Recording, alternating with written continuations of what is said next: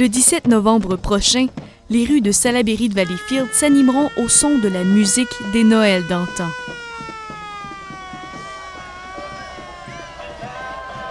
Lutins, fanfares et chars allégoriques défileront dans les rues alors que le défilé de Noël sera de retour pour la première fois depuis 1999. Le tout grâce à l'intérêt de la population pour le dossier.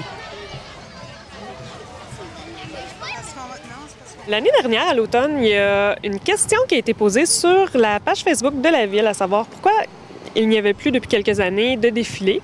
Puis, suite aux réponses très rapides euh, de euh, la municipalité, euh, on a formé un comité, on a soumis un projet, puis de fil en aiguille, ça s'est concrétisé.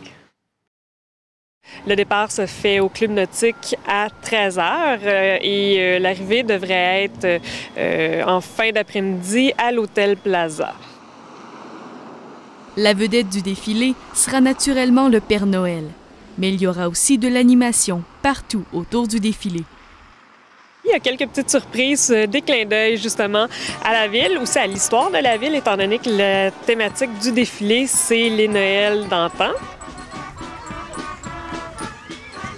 Va y avoir euh, sept chars allégoriques, euh, des corps musicaux, des mascottes, bref, plein de choses qu'on retrouve évidemment normalement dans un défilé.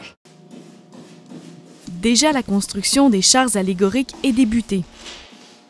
C'est la boutique Mon Petit Clown au ballon et les productions Maquéo qui sont chargées de la réalisation des chars, mais aussi de celle des costumes. Bienvenue chez Mon Petit Clown au ballon! Nous, on va faire la confection euh, des sept chars allégoriques. Euh, on va confectionner les décors. On va y amener une petite touche aussi vraiment pour euh, Valleyfield. J'en dévoile pas trop, mais il y a des petites choses qui vont vraiment faire rappeler la ville, autant du thème qui est le Noël d'antan, d'y aller vraiment avec des choses antiques. je peux pas trop en dévoiler, mais je crois que je vais amener un petit côté original à la demande du comité.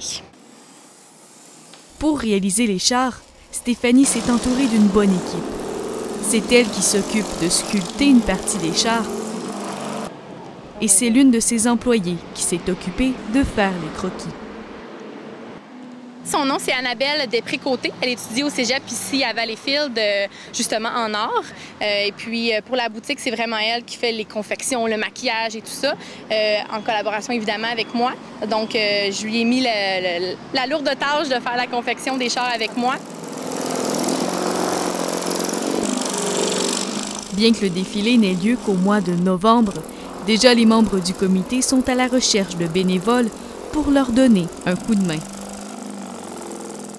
Si les gens sont intéressés à être bénévoles, euh, ça va nous faire plaisir, que ce soit pour la journée même ou même à partir d'aujourd'hui, on a besoin de bénévoles.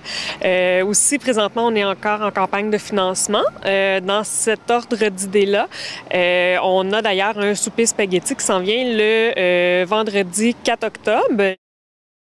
Pour les adultes, c'est au coût de 12 Pour les enfants de 6 à 12 ans, euh, c'est 8 et 5 euh, ans et moins, évidemment, c'est des contributions volontaires.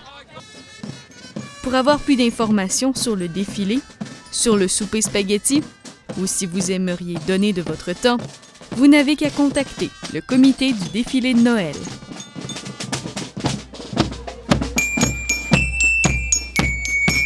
L'équipe de Télécogeco sera présente le 17 novembre prochain pour capter l'événement.